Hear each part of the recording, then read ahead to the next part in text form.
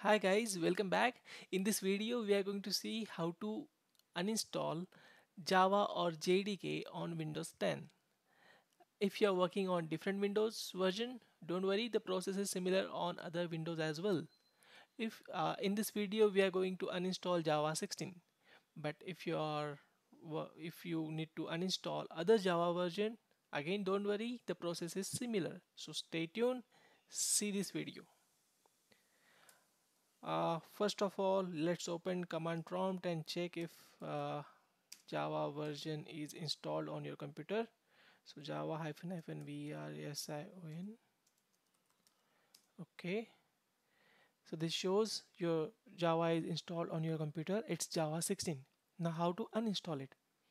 Go to add or remove programs. Here search for Java okay? It is showing me java 16 is installed on this machine. Now click on this. You'll see this uninstall button. Click on uninstall. Click on uninstall again.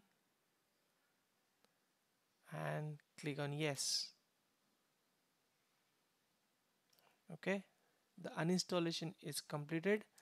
Now go to the directory where java is installed generally so java installation directory is c program files java c. Uh, here I can only see JRE 1.8 which is which is a different thing.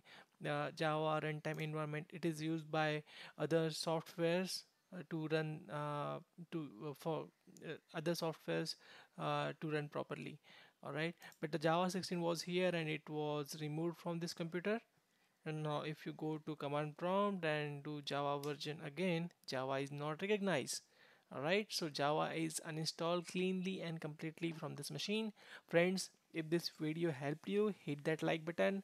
Let me know in comment section and subscribe for more such videos in the future.